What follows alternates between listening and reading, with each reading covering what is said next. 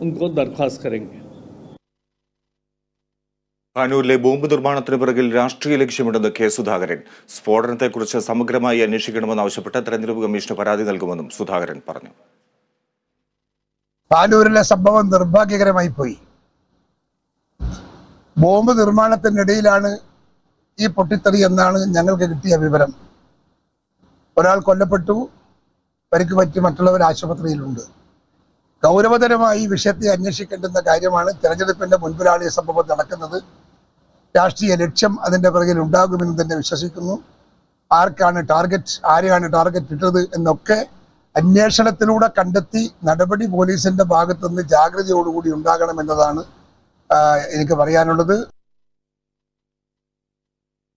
തൃശൂർ അതിരപ്പള്ളി വാൽപ്പാറയിൽ കാട്ടുപോത്തിന്റെ ആക്രമണത്തിൽ തോട്ടം തൊഴിലാളിയായ യുവാവ് മരിച്ചു. തമിഴ്നാട് വാൽപ്പാറ സ്വദേശി അരുണാണ് മരിച്ചത്. മുരുകാളി എസ്റ്റേറ്റിൽ നാലാം നമ്പർ ഫീൽഡിൽ ജോലിക്കെത്തിയ സമയത്തായിരുന്നു ആക്രമണം. തേയിലയ്ക്ക് മരുന്നടിക്കുന്നതിനിടെ കാട്ടുപോത്ത് ആക്രമിക്കുകയായിരുന്നു.